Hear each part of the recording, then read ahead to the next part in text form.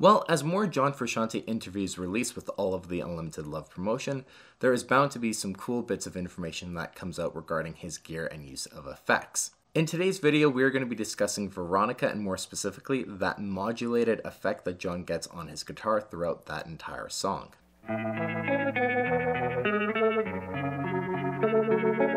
Now, this information came out as a result of the interview John Frusciante did with Guitar World, and honestly, it's another brilliant interview.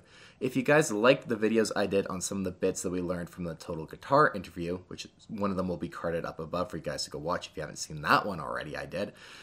This interview is another great one, and I highly suggest you guys go check it out. So it'll be linked in the description below for you guys to go and look at. It's another awesome one that you guys should really add to your collection. So as John is discussing Veronica, he moves on to that modulated sound that he has on the record, and he describes it as the wow, wow, wow, wow, wow, wow effect. So it's just kind of going, uh, uh,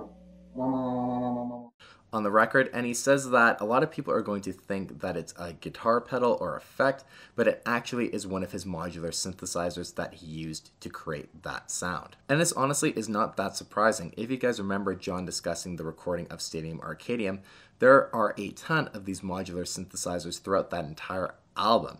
And I bet it's going to be the same story with a lot of these songs on Unlimited Love. Uh, it's, it's playing this guitar part here.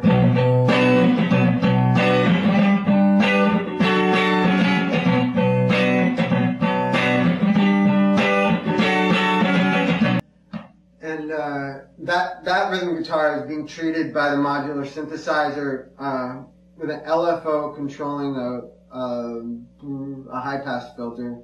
So it's just kind of going. Uh,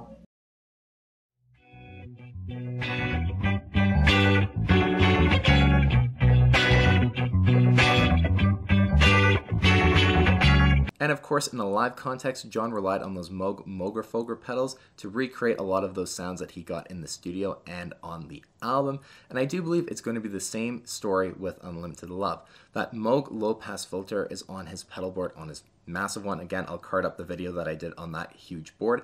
And I think that pedal serves a dual purpose. The sound in a Veronica, that effect, is not worlds away from the effect John gets with the low pass filter for Dani California. So I think that pedal could be serving a dual purpose now, and John could use it for both Dani California and Veronica. That's my theory, at least, and until we get a better look at John stepping on the pedals for Dani California and Veronica, I think it's a pretty good shout. Again, I just think it's really awesome that we get to hear right from John some details about how he created these sounds on Unlimited Love, and this interview does a really great job of highlighting that and providing just some killer bits of information. So if you guys liked this video, number one, again, go check out that Guitar World interview. It's really honestly great, you guys. And also let me know by leaving a comment down below and smashing that like button. There are a few other details like this in regards to different songs that I could go over but I'm not really going to know if that's what you guys are want to hear and see unless you let me know. So let me know, and as always, you guys, thanks so much for watching. We'll see you on the next one.